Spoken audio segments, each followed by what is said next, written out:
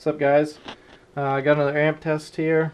Uh, today I'm going to be doing this Hifonics Brutus BRZ 2401D. I'm going to be putting this on my dyno setup and seeing what it really does for power. Uh, it's rated at 2400 watts at 1 ohm. And uh, one thing I'm going to be trying to do more, I haven't really done before, is show some uh, gut shots of these amps. So this is actually laid out really nice uh, inside. And uh, one thing I noticed as soon as I opened this up is this is actually the same exact uh, board as the SQ2200D. And I'm going to be getting one of those in here later in the week. So check back and you know you'll be able to compare the differences. But to me they look identical. They may use a different color board. I think the SQ uses a red board instead of a blue board. But other than that, they are identical. So same layout, they use the same power supply driver board, same power supply FET, same number of them, uh, same dual power supplies, uh, same capacitors. Uh, this is exactly the same. I mean, the layout is identical. Same output driver board. So the inputs are in the same spot. The speaker terminals are in the same spot. It, it's the same exact amp. So this is rated at 2400 watts at 1 ohm and the SQ is rated at 2200 watts. So either the SQ is underrated or this is overrated. So I guess we'll find out. Alright, I've got this set up for a 2 ohm load right now. I'm going to do certified power and the reason I'm going to do 2 ohm load is uh, I'm going to do 2 ohm, 1.6 and 1 ohm. Um, the reason I'm going to do that is I'm going to kind of account for box rise. So if you're putting this in your car and you're getting some box rise, uh, you might be up around the 2 ohm range, so this is the power you're likely to see. So, um, so this is going to be a 2 ohm certified run.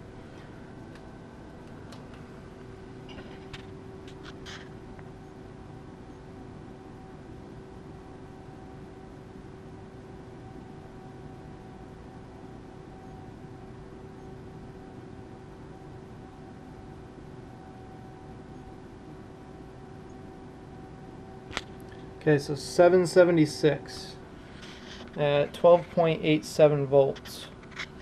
Alright, so not too, too bad. Um, I can't remember what this is rated at, at 2 ohm. I want to say it's like 800, so um, something like that, 8850. I could look up the specs. Uh, so it's, it's pretty close. So I'm going to give this a chance to recharge the batteries a little bit. And uh, I'm going to retune it for a 1.6 ohm load. And we'll go ahead and run that. Alright, I'm all retuned for a 1.6 ohm test.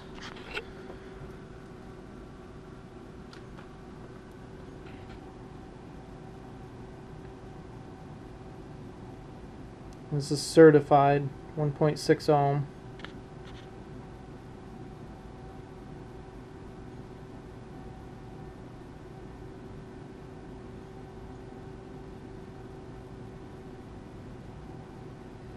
So 908 watts. A little bit more. Not a crazy amount more.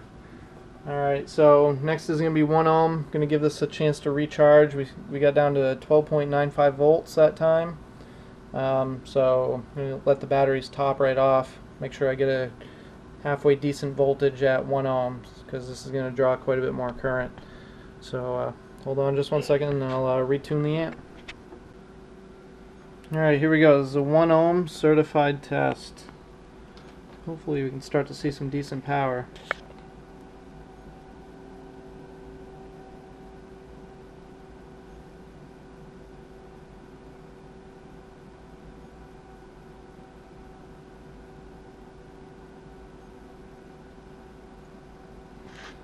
Alright, so 1113 watts, 12.81 volts.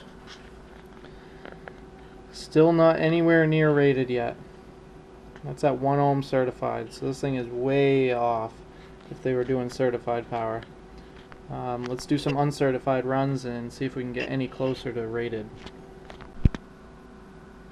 So we're back at 2 ohm, so this is going to be 2 ohm uncertified. So now this is going to stop at clipping. Should see quite a bit more power.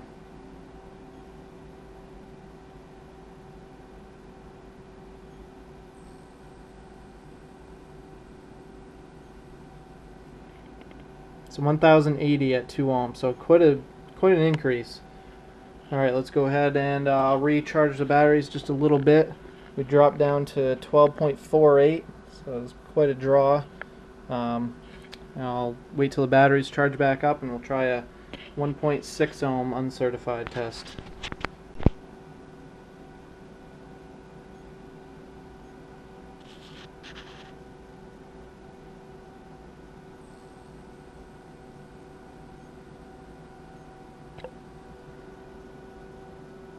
There's 1275 at 12.25 volts, 1.6 ohm, uncertified. Next will be a 1 ohm uncertified test.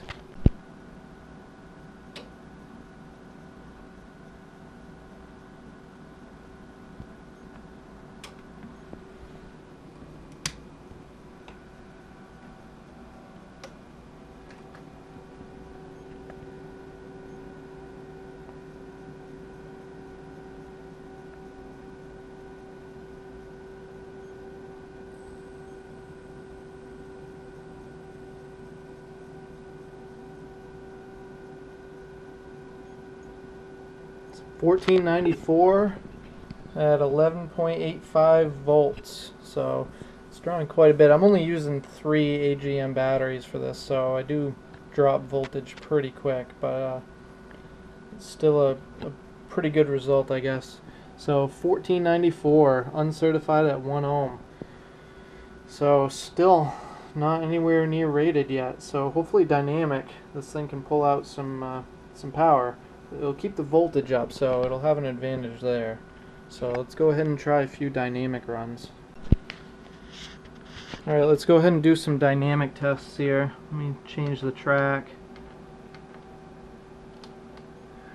So this is going to be dynamic at 2 ohms. This should be its best shot at making power, um, is dynamic. So it's going to be a little bit less strain on the batteries, and uh, the, so the voltage should stay up. This will kind of simulate music in your vehicle. Alright, so here goes 2 ohms dynamic.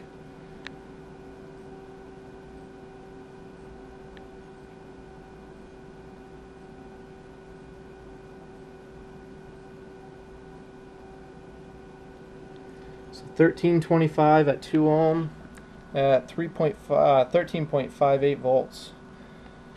So not too too bad. Uh, let me get the voltage back up just a little bit more. We'll do a 1.6 ohm run and then a 1 ohm.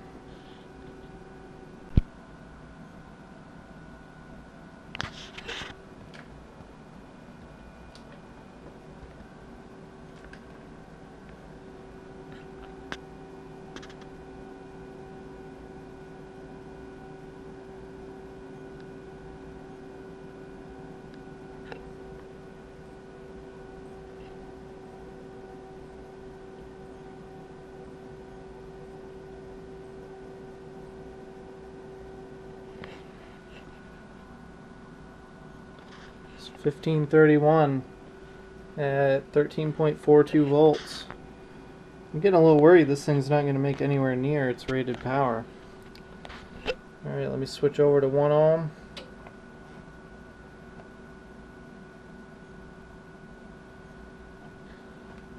This is it. This should be the final test. See if this amp makes anywhere near rated power.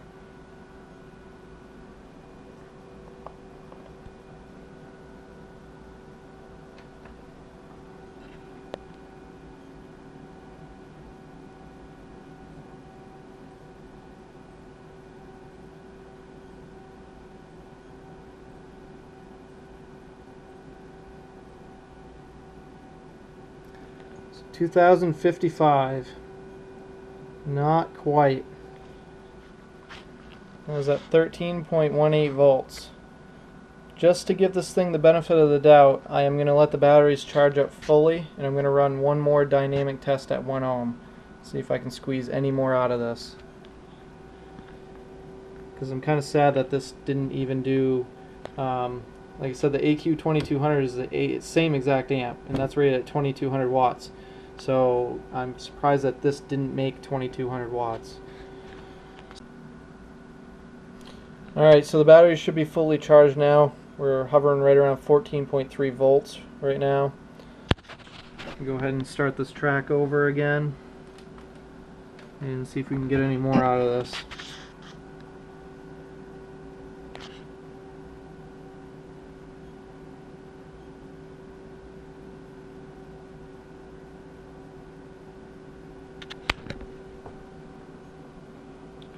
Helps if I started on the right track.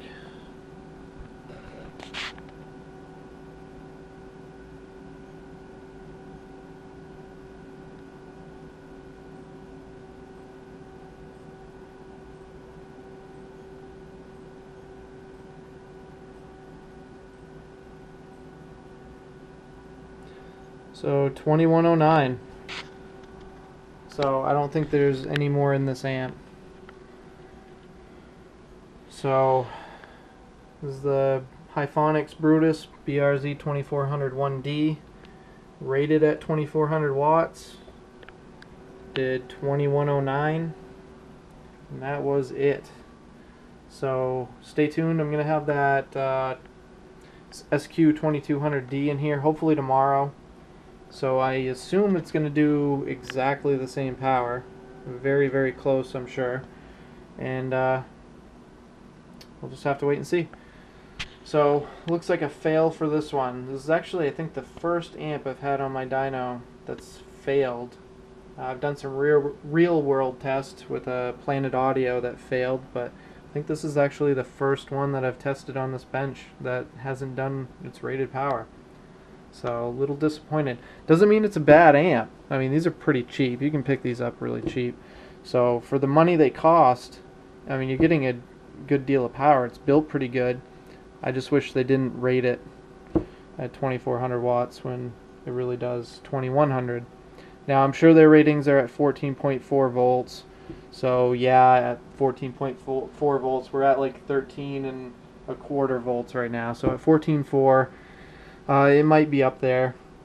I still don't think it's going to do 2400 though. I think it's going to do where the SQ is rated at 2200 watts. So, alright, stick around. Uh, I should have the SQ video up hopefully in a few days. And uh, we'll see what it does. Thanks for watching. I just wanted to add this little clip. Um, I got a couple comments on a forum from one of the other videos I posted saying that my dummy load must be off because it did it didn't do the power that people thought it should do. Uh, and since this one didn't make its rated power, I just want to show people that my dummy load is is perfect. Um, the impedances or the resistance that it's reading is exactly what it should be. So right now it's off basically, so it's 15.6 ohm. Should be right around 16. I don't care about that, so it doesn't need to be accurate. So let me go ahead and select a load here. We'll start at 1 ohm. Okay, so this is 1 ohm test. You can see that it's exactly 1 ohm. Alright, so I'll go back out. We'll go to a two, uh, 1.6 ohm test. 1.6 ohms. Oops. Okay, let's go to a 2 ohm. 2 ohms.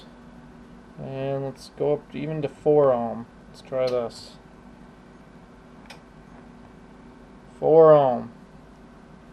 And 8 ohm I don't really care about, but as you can see they're all correct.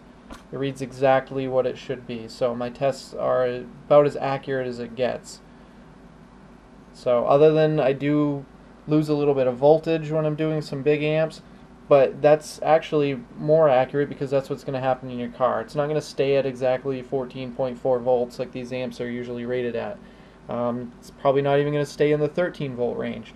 I mean, most people with a big amp are going to drop into the 12 volts. You might not see it on your, you know, voltage gauge in your gauge cluster, but that's about as inaccurate as it gets.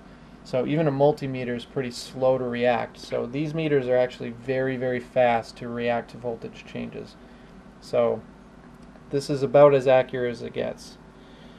So I just wanted to clear that up, and uh, thanks for watching.